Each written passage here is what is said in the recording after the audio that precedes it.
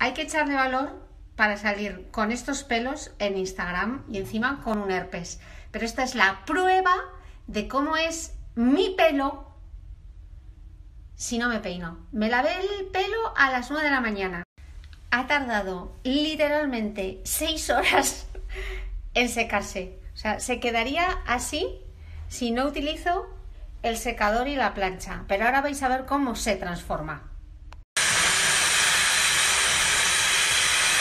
Le doy un golpe de secador con la boquilla mirando hacia abajo.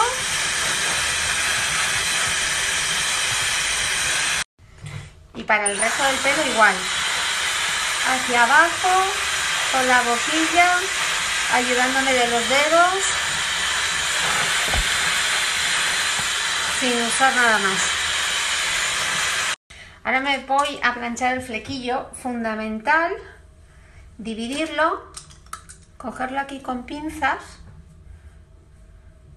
¿veis? para que quede así.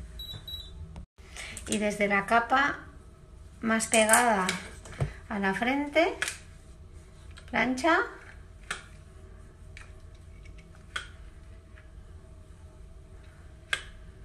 plancha, quito la otra pinza, le paso el peine,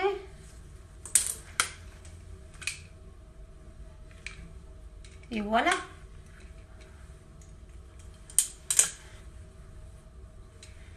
Resto del pelo igual, o sea, no me voy a, enrollar aquí para que lo veáis, pero fundamental que lo dividáis por capas, os ayudéis de un peine que sea térmico.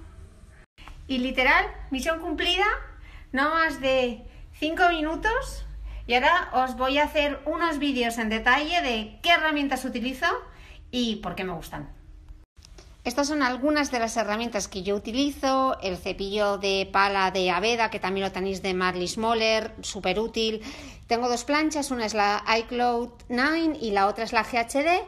Mi super secador Dice, unas buenas pinzas para el pelo, eh, un peine térmico, un cepillito pequeño que es con el que yo viajo y este limpiador para limpiar los cepillos y quitar el polvo y los tengo dos planchas, una con la que viajo, que es esta de Cloud9, que va siempre, incluso cuando voy con equipaje de mano, en este neceser con las dos pinzas, este cepillo y este peine.